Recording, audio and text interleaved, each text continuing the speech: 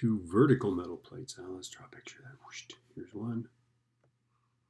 Have an electric, and we don't know. Oh, we don't know their distance. Okay, so delta r is equal to question mark. Okay, there's an electric field of 560 volts per meter to the right.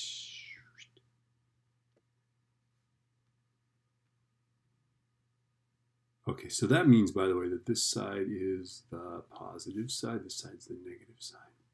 Because what would positive charge do?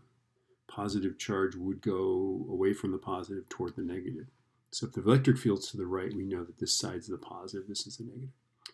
So left side is the positive side. That's easy peasy, but let's figure out the, the distance. Okay, so um, electric field is the opposite of delta V over R. Okay.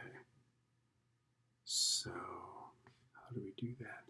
Let's see, I guess we have to go, um, have to do this, right? Delta R is going to be the opposite of delta V over E. Do we even need the minus sign? I don't know. Let's see what happens here.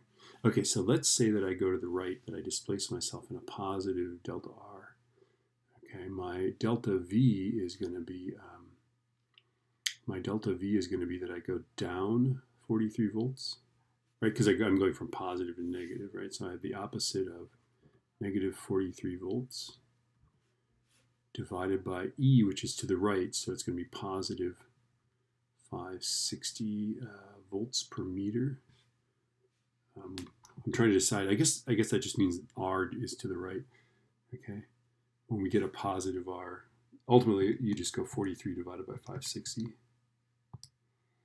and I get that R is positive. We went to the right 0 0.07678 meters, which would be uh, 7.68 centimeters. Is the distance separating the plates. But we know that if you go to the right, that you know it all works anyway. Um, so in this case, the minus sign and the vectors and stuff didn't help us too much. All right.